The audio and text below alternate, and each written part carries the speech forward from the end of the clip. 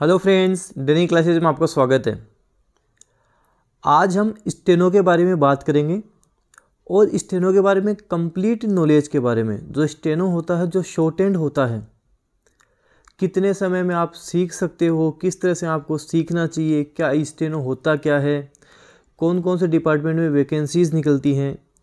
कहीं ऐसा तो नहीं आप स्टेनो सीख लो और वैकेंसी ही नहीं आए। तो इन सारी चीज़ों के बारे में आज हम बात करने वाले हैं। ए टू जेड जो जो आप स्टेनो के बारे में जानना चाहते हो, वो सब कुछ। क्योंकि मैं देख रहा हूँ, ज़्यादातर जो कमेंट आते हैं, वो इस तरह के आ रहे हैं जिन स्टूडेंट का पता लग रहा है कि स्टेनो के बारे में इतना नॉलेज नहीं है, पता नहीं है। तो इसी के बारे में आज हम सारी चीज़ें, सब कुछ बात करने, करेंगे। स्टेनो के बारे में एक एक चीज़ सब कुछ मैं आपको बताते हुए चलूँगा। सबसे पहले बात करते हैं कि स्टेनो होता क्या है, ये स्टेनो आखिर क्या चीज़ है, किसको स्टेनो बोलते हैं? देखो स्टेनो का मतलब होता है शॉर्ट एंड मतलब मैं कुछ भी अभी बोल रहा हूँ, आपको कुछ भी मैं आपको बता रहा हूँ। अब उसको शॉर्ट में लिखना ही शॉर्ट एंड बोलते हैं स्टेनो बोलते हैं। शीघ्र लिपिक भी जिसको बोला जाता है, जिसकी लिपि शीघ्र होती है, जो जल्दी लिख सकता है। जैसे एक मैं आपको बोलूँ कि आप न्यायालय लिखिए तो आप लिखोगे न या या ले अब इसको शॉर्ट एंड में हम लिखेंगे। जैसे हम बात करें शॉर्ट एंड में तो इसका एक निशान हो जाता है, शब्द चिन्ह हो जाता है। जैसे हम बात करें ये न्यायालय का निशान हो गया स्टेनो में। जैसे जैन लिपि की बात करें, उसमें न्यायालय का निशान हो गया। जैसे मैं अब बोलूँगा, आपको न्यायाधीश लिखो तो ये न्याय और ये धीश, इस तरह से न्यायाधीश का निशान हो गया। ये शॉर्ट हैंड होता है। अब एक तो आप न्यायालय लिखा, एक मैंने इस तरह से छोटा लिखा तो उसमें क्या टाइम कम लगा? जैसे आपको लिखना है परिणाम स्वरूप, आपको लिखना है परिणाम स्वरूप। अब आप हिंदी में लिखोगे, परिणाम स्वरूप, काफ़ी टाइम लगेगा। शॉर्ट हैंड में आपने लिखा परिणाम स्वरूप। ये हो गया परिणाम स्वरूप इस तरह से यहाँ पे सीखते हो जब आप तो आपकी स्पीड हो जाती है। अब स्पीड भी क्या? हाई कोर्ट में जैसे हम बात करें, अभी दो वैकेंसी निकल गई। एक सेशन कोर्ट में स्टेनो की निकल गई, अब हाई कोर्ट में स्टेनो की निकल गई। उसमें सत्तर की स्पीड मांगते हैं। बाकी अदर हम बात करें, कहीं अस्सी की मांग लेते हैं कि सौ की स्पीड भी मांग लेते हैं। जैसे अभी आपके R S M, S S B के आईयूएस में सौ की स्पीड मांग रहे हैं।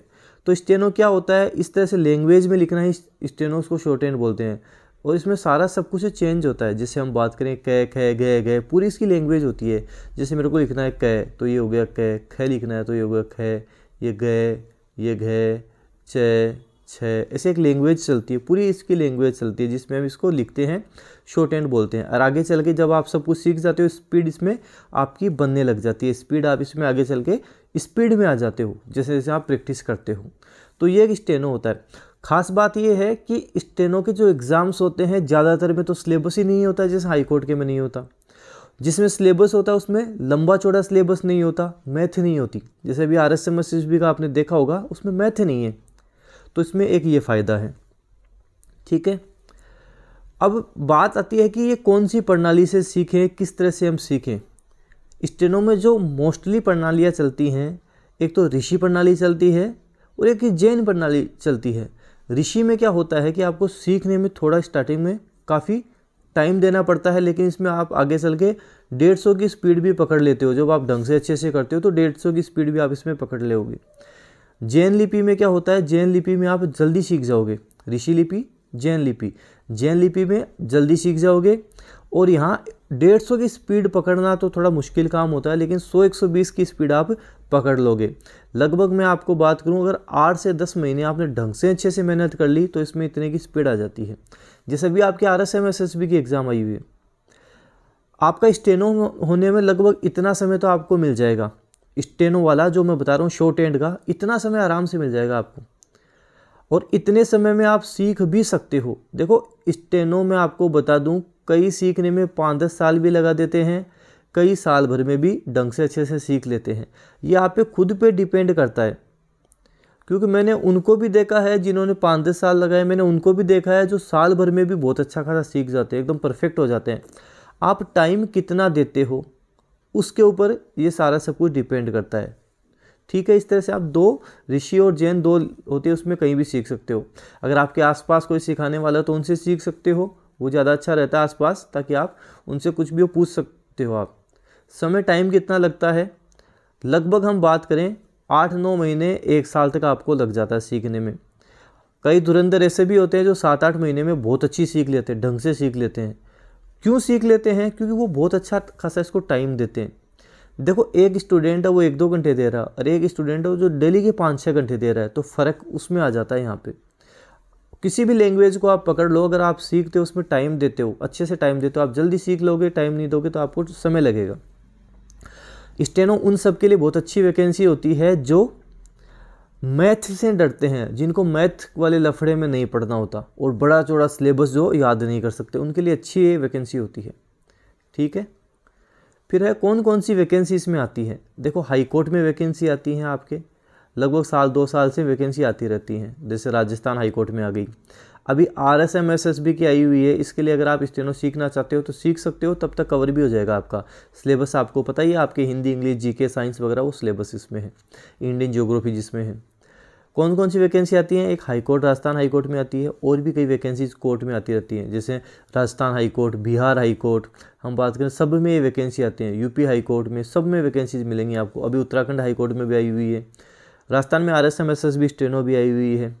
एस एस सी निकालती है, लगभग हर साल ही निकाल देती है। दो निकालती है, ग्रुप सी या ग्रुप डी। एक ग्रेजुएशन, एक ट्वेल्थ पास। दो निकालती है, वो वैकेंसीज आती हैं। एसएससी में भी मैथ नहीं आती है सिलेबस में। सिलेबस में हम बात करें, आपके इंग्लिश आती है, सौ नंबर की, पचास नंबर का जीके वाला पार्ट आ जाता है और पचास नंबर की रीजनिंग आती है। इस तरह से उसका ये सिलेबस रहता है, एसएससी का सिलेबस रहता है। मैथ उसमें भी नहीं रहती। घर बैठे सीख सकते हैं क्या?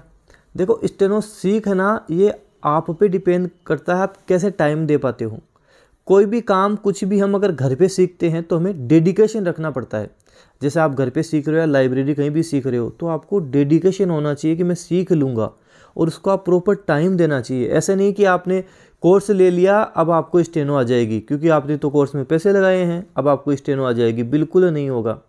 बिल्कुल नहीं आएगी। चाहे आप एक लाख का भी कोर्स ले लेना, आपको नहीं आएगी। जब तक आप नहीं पढ़ोगे, जब तक आप प्रैक्टिस नहीं करोगे, आपको स्टेनो नहीं आनी है।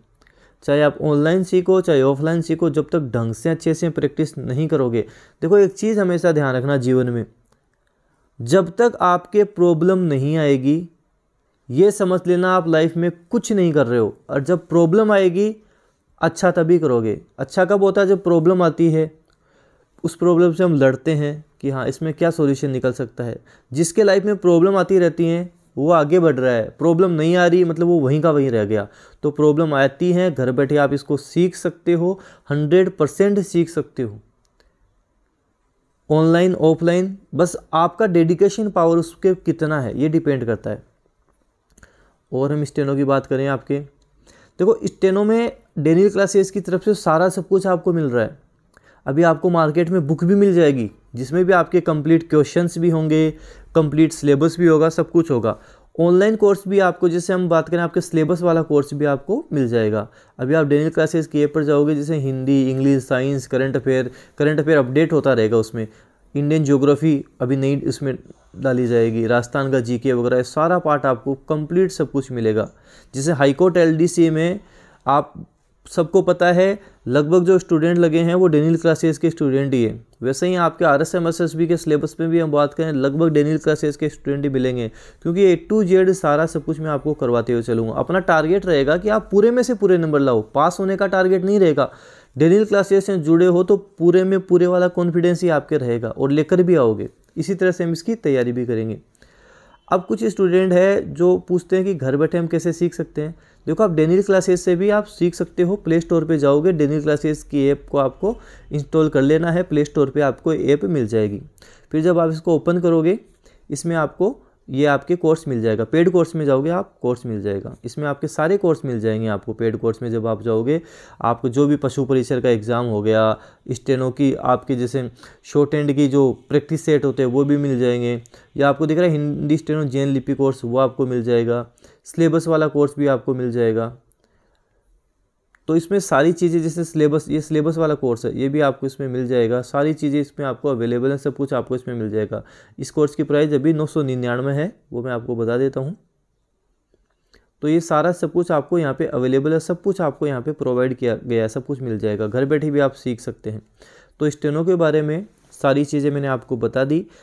जैन लिपि और ऋषि, ये दो चलती हैं आपकी। ऋषि से सीख, हम जो सिखा रहे हैं, वो जैन लिपि से सिखा रहे हैं। जैन लिपि में सात आठ महीने ढंग से अच्छे से मेहनत कर लो, सिलेबस भी निकाल लोगे, स्टेनो भी सीख लोगे, दोनों काम कर लोगे। डेनिल क्लासेस से जुड़े हुए हो सारे आपके, स्टेनो से संबंधित सब कुछ यहाँ पे सारा सॉल्यूशन आपको मिल जाएगा। कोर्स वाला भी मिल जाएगा, सिखाने वाला भी मिल जाएगा, सारे काम आपको यहाँ पे सब कुछ हो जाएगा। बस ढंग से अच्छे से लग जाओ। कोई क्वेरी है, कोई क्वेश्चन है आपका तो आप कमेंट बॉक्स में कमेंट करके पूछ सकते हैं, आपको बता दिया जाएगा। उसका सॉल्यूशन भी आपको बता दिया जाएगा। वैकेंसी आपकी अभी R S M S S B की आ चुकी है, ढंग से अच्छे से लग जाओ। दिन रात ये कर दो। मैं आपको बताऊँ, ये एक साल, दो हज़ार चौबीस, इस एक साल में जितनी मेहनत करनी है कर लो, आगे वैकेंसीज नहीं आनी है। एक साल अपने आप को दे दो, खुद को दे दो, उसके बाद में जीवन भर आपको मेहनत नहीं करनी पड़ेगी। बस एक साल मेहनत करनी है ढंग से, अच्छे से। तो इसमें अच्छे से लगो। कोई भी प्रॉब्लम आए, हंड्रेड परसेंट उसका सॉल्यूशन करेंगे। कमेंट आप कर सकते हो, कमेंट करो। और आप जब ऐप में जाते हो, कोई भी कोर्स लेते हो, वहाँ पे आपको नंबर भी शो होते हैं। उस नंबर पे भी आप मैसेज कर सकते हो, कोई भी समस्या आएगी, उसका मैं आपका समाधान ज़रूर करें करूँगा। डेनियल क्लासेस के टेलीग्राम चैनल से भी जुड़ जाओ। वहाँ भी काफ़ी स्टूडेंट हैं जो जुड़े हुए हैं। कोई भी न्यू इन्फॉर्मेशन आती है, मैं वहाँ भी आपको प्रोवाइड करवा देता हूँ। और चैनल सब्सक्राइब ज़रूर करके रखें आप, ताकि हाथों हाथ कोई अपडेट आए, आपको तुरंत मिल जाए। धन्यवाद।